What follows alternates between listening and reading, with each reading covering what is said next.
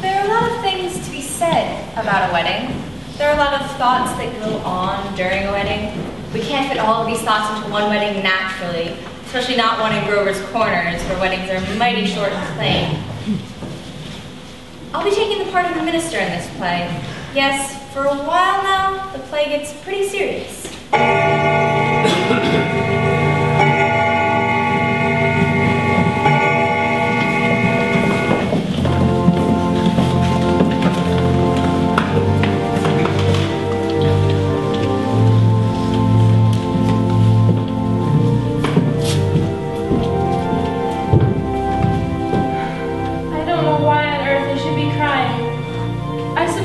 Nothing to cry about. This morning at breakfast, it came over me. There was Emily eating her breakfast as she's done for 17 years, and she's going out of my house. I suppose that's it. And Emily, she suddenly said, I can't eat another mouthful. And she put her head on the table and she cried.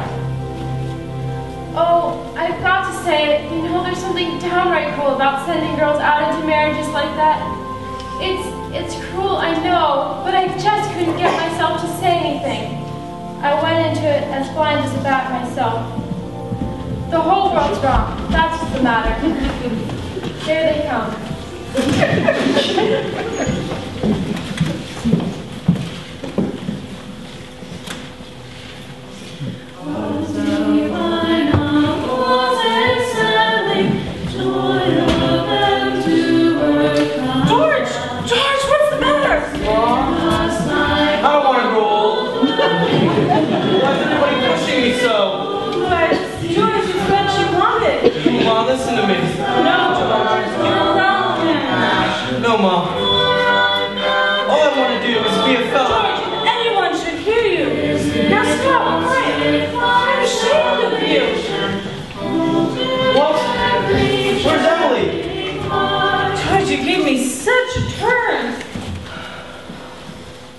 Cheer up, Mom. Getting married. Let me catch my breath a minute. Now, Mom, you save Thursday nights. Emily and I are coming over for dinner every Thursday night. You'll see. What you crying for? Come on, we gotta get ready for this.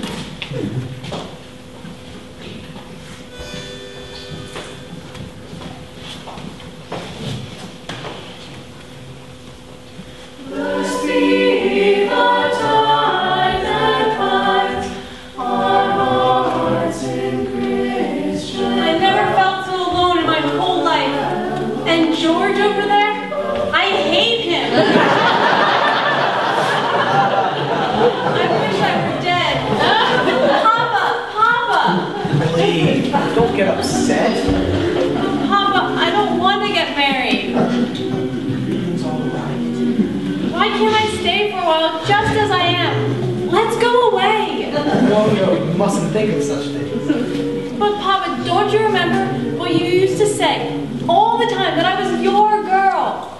There are many places we could go to. I'd cook for you. I'd keep house. Stop and think of it. You're just nervous. George, George, will you come here a minute? Now, you're marrying a great fellow. George is a fine fellow. But Papa, George, I'm giving my daughter away today. Do you think you can take care of her? I want to. I want to try. Emily, I need you. I love you. if you love me, help me. All I want is someone to love me. I will, Emily. Emily, I'll try. And I mean forever. Do you hear? Forever and ever. Come quick. They're waiting for us. Now you know it'll be all right.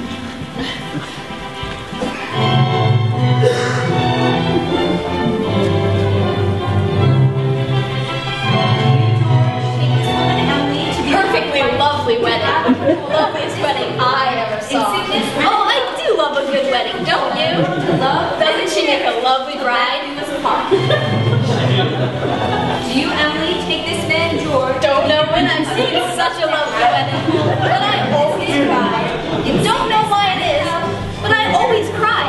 I just like to see people happy. Don't you? I do. Oh, I think it's lovely.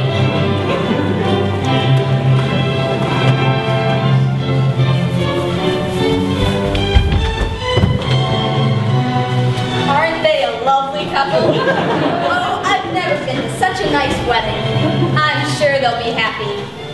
always say, happiness. That's the great thing. The important thing is to be happy.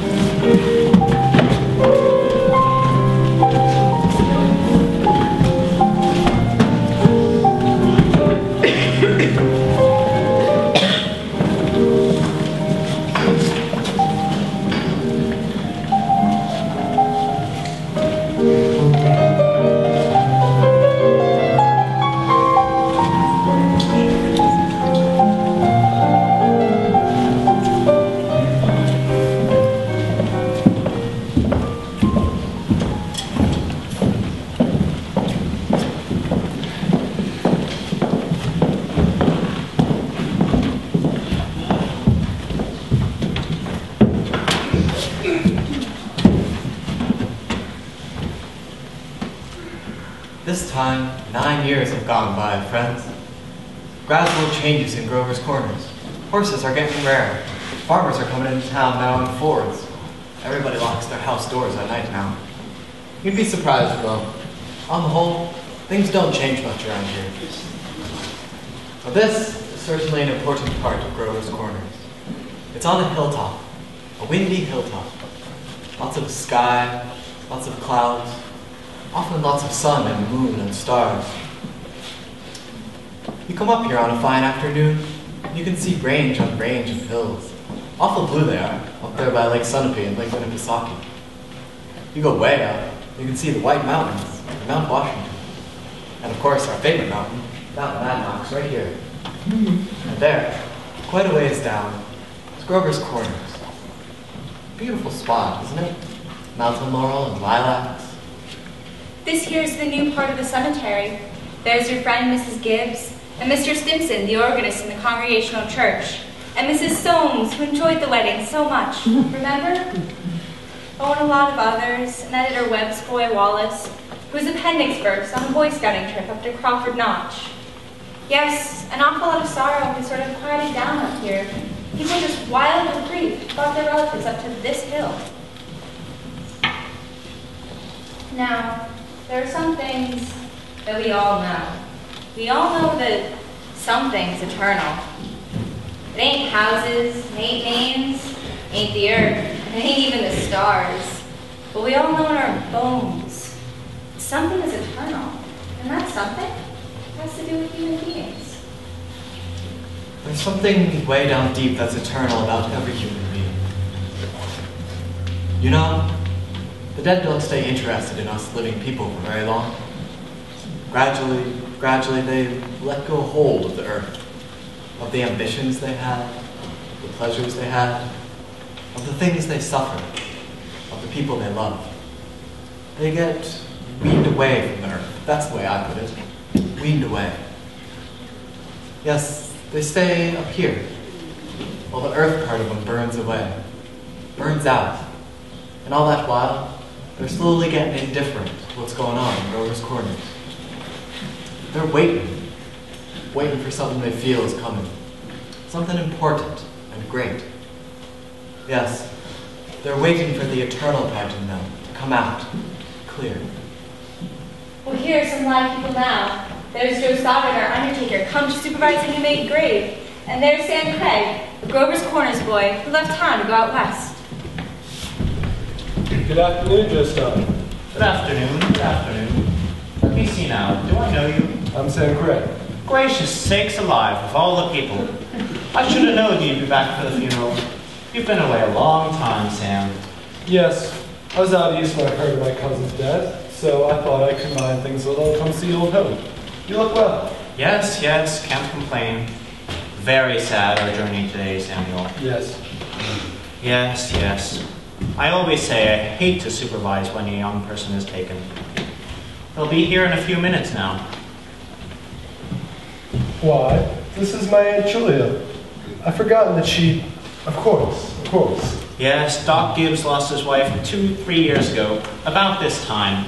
And today is another bad blow for him, too. That's my sister Carrie's boy, Sam. Sam Craig. I'm always uncomfortable when they're around. Simon. Now I wanted to see my father's and my mother's. Over there with the Craigs, Avenue F. He was an organist at church, wasn't he? Drank a lot, ladies to say. Nobody was supposed to know about it. He'd seen a pack of trouble. Took his own life, you know. Did he? It's just a couple minutes of music. What does it mean? Joe, what did she die of? Who? My cousin. Oh, didn't you know? Had some trouble bringing a baby into the world. Was her second, though. There's a little boy about four years old. So she'll be buried here. Yes, there ain't much room among the Gibbses, so they're opening up a whole new Gibbs section over by Avenue B. Well, excuse me now, I see they're coming.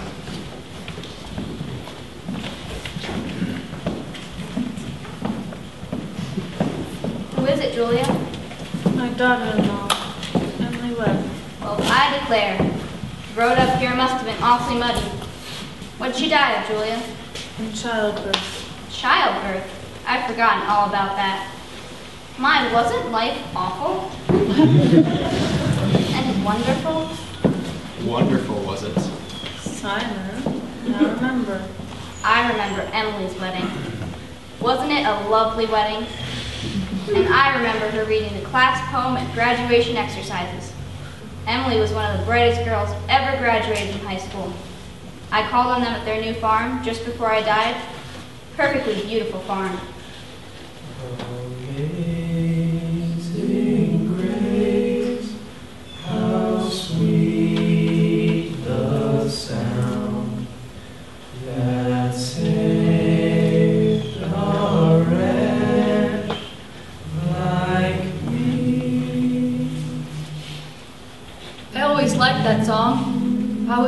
They'd sing a song.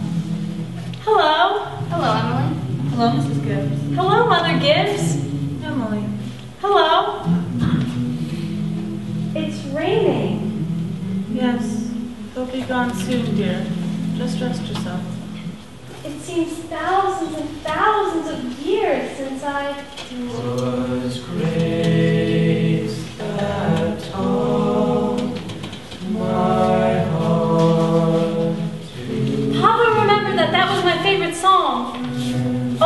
I wish I'd been here a long time. I don't like being new here. Oh, how do you do, Mr. Stimson? How do you do, Emily? Mother Gibbs, George and I made that farm into just the best place you ever saw. We thought of you all the time. We wanted to show you the new barn and the great long cement drinking fountain for the stock. We bought it with the money you left us. I did. Don't you remember, Mother Gibbs, the legacy you left us? Why, it was over $350. Yes, yes, Emily. It's not the same for George without me, but it's a lovely farm. Live people don't understand, do they? No, dear. Not very much. They're sort of shut up in little boxes, aren't they? I feel as though I knew them last a thousand years ago. My boy is spending the day at Mrs. Carter's. Oh, Mrs. Carter, my little boy is spending the day at your house. Is he? Yes, he loves it there. Mother Gibbs, we have a Ford too. Never gives any trouble. I don't drive though. Mother Gibbs, when does this feeling go away? Of being one of them? How long does it? Shh, dear. Just wait and be patient. I know. Look, they're finished. They're going. My flowers to you. He looks just like George, doesn't he? Mother Gibbs, I never realized before how troubled and how how in the dark life persons are. Look at him. I loved him so. From morning till night, that's all they are. Troubled. Little cooler than it was. I haven't rain cooled off a bit. But Mother Gibbs, one can go back. One can go back there again. Into living. I feel it. I know it. Why, just for a moment I was thinking about about the farm, and just for a minute I was there. And my baby was on my lap, plain as day. Yes, Emily. Of course you can. I can go and live all those days over again. Why not? All I can say, Emily, is don't. But it's true, isn't it? I can go and live back there again? Yes, some have tried, but they soon come back here. Don't do it, Emily. Emily, don't. It's not what you think it'd be. But I won't live over a sad day. I'll choose a happy one. I'll choose the day that I knew I first loved George. Oh, no, no. Why should that be painful? Because you not only live it, but you watch yourself living it. Yes, And you see what they down there can never know. You see the future. You know what's going to happen afterwards. but that is painful? Why? That's not the only reason why you shouldn't do it, Emily. When you've been here longer, you'll see that. Our life here is to forget all that and think only of what is ahead. And be ready for what is ahead. When you've been here longer, you'll understand. But Mother Gibbs, how could I ever forget that life? It's all I know. It's all I had. Oh, Emily, it isn't wise. But it's really, a, it isn't. but it's a thing I must know for myself. I'll choose a happy day anyway. No. Choose an unimportant day. Choose the least important day of your life. It will be important enough. Then it can't be since I was married or since the baby was born. I can choose a birthday, can't I? I'll choose my 12th birthday. All right. It's February 11th, 1899, a Tuesday. Do you want any special time of day? Oh, I want the whole day. We'll begin at dawn. You remember, it had been snowing for several days, but it stopped the night before. They had begun clearing the roads. The sun's coming up. Yes, this is 1899, 14 years ago. There's the town I knew as a little girl. And look, there's the old white fence that used to surround our house. I had forgotten it. I loved it so. Are they inside? Yes, your mother will be coming downstairs in a minute to make breakfast. Will she? And you remember, your father had been away for a couple of days, came back on an early morning train. No. He'd been back to his college to make a speech in Western New York. Look, there's Howie Newsome. And there's our policeman. But he's dead. He died. Morning, Howard. Oh, hello, Bill. You're early again. Yeah, been out rescuing a party down by Polish Town tomorrow. Some fella got drunk and lay out in the snowdrifts. Darn near froze to death. There's Joe Crowell. Morning, Mr. Wood. Morning, Howie. Morning, Joe. Children, Molly, Emily, time to get up. Mama, I'm here. Oh, how young Mama looks. I never knew Mama was ever that young. You can come and dress for the kitchen fire if you like, but hurry. Good morning, Mr. Newsome. Morning, Mrs. Webb. Oh, it's cold. Yup. It's headed below by my bar, Miss Webb. Think of it. Keep yourself wrapped up. Mom, Bessie.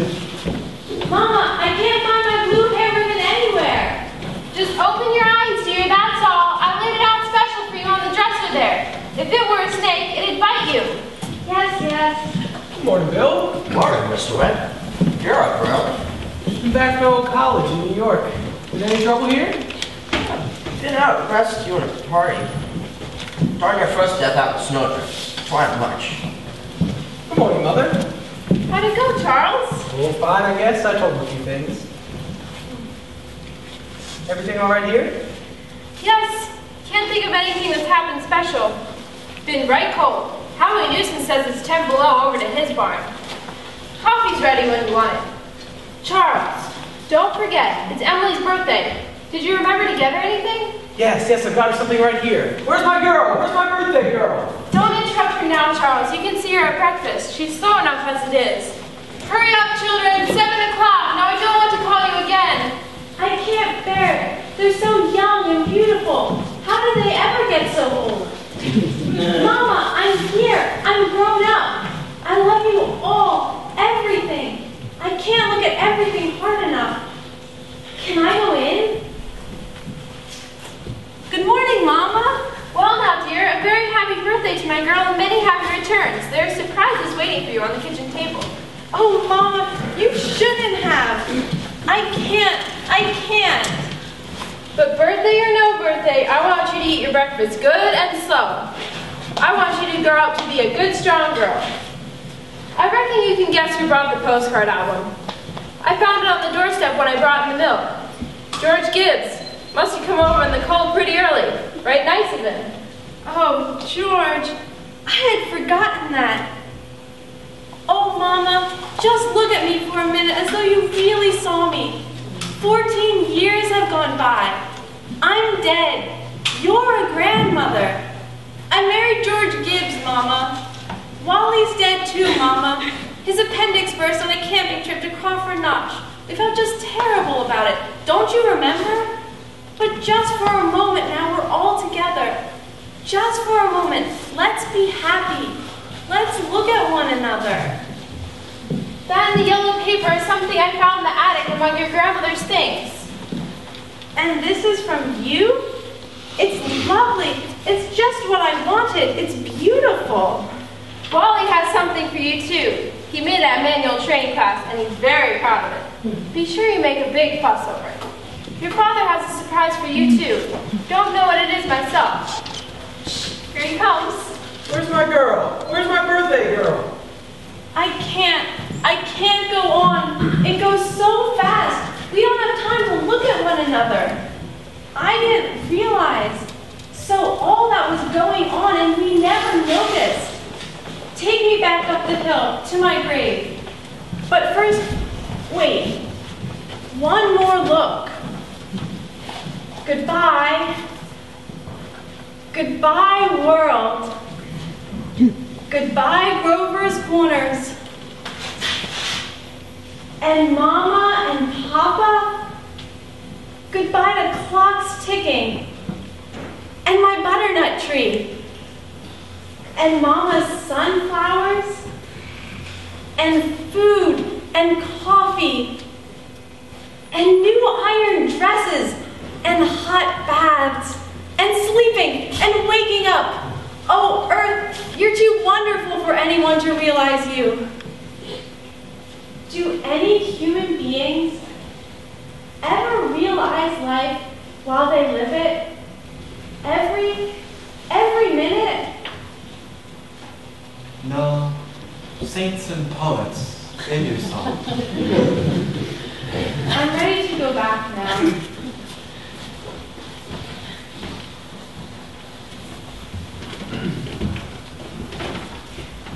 Were you happy?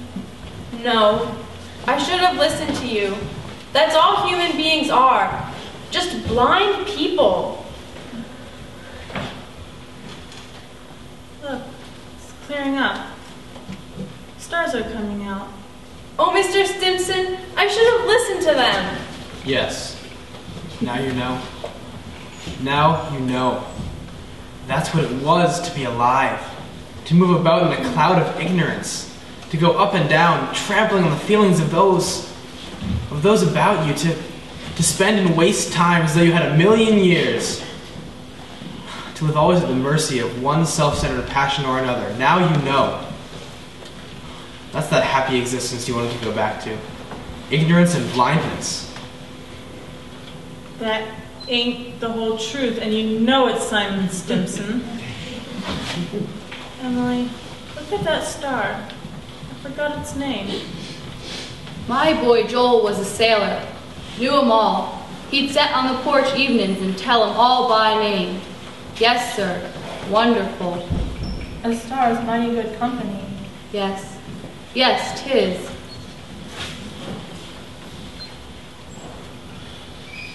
There's one of them coming. That's funny. Ain't no time for him to be here. Goodness sakes. Mother Gibbs, it's George. Shh, dear. Just rest yourself. It's George. My boy Joel, who knew the stars, he used to say it took millions of years for that little speck of light to get down to earth. Don't seem like a body could believe it, but that's what he used to say. Millions of years. Goodness, that ain't no way to behave. He ought to be home. Mother Gibbs, Yes, Emily?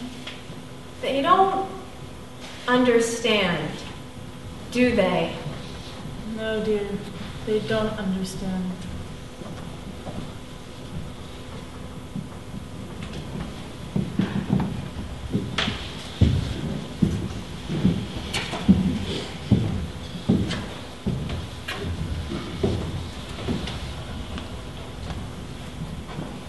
Everybody's asleep in Grover's Corners.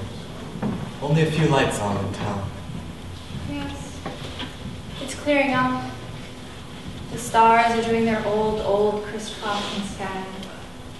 Only this one's straining away. Straining to make something of itself. And the strain's so hard that every 16 hours everybody lies down and gets some rest. It's 11 o'clock in Grover's Corners. Everybody's resting in Grover's Corner. Tomorrow's going to be another day. You get a good rest, too. Good night. Mm-hmm.